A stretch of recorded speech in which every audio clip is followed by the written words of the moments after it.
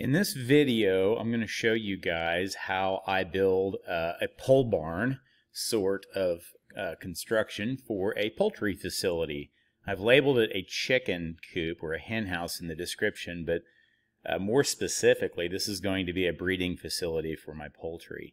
Uh, I, I, need to be able to separate my different breeds, roosters and hens, uh, for the breeding season so I can incubate eggs out of specific birds.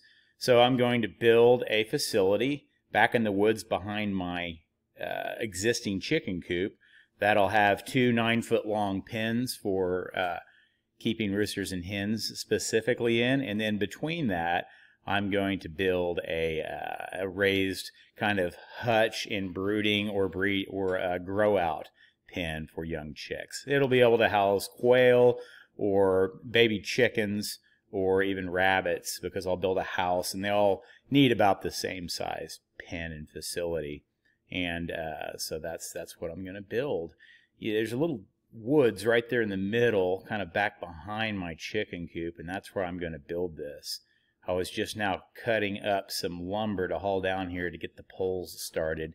And most of the lumber I'm using today is going to be culled, C-U-L-L-E-D, culled wood from lumber yards. That's bent or broken or warped in some other way. It's kind of a pain to work with, but if you know what you're doing, you can save a lot of money using that kind of wood. So a lot of this facility is going to be made out of scrap wood or cut off end pieces uh, of metal roofing.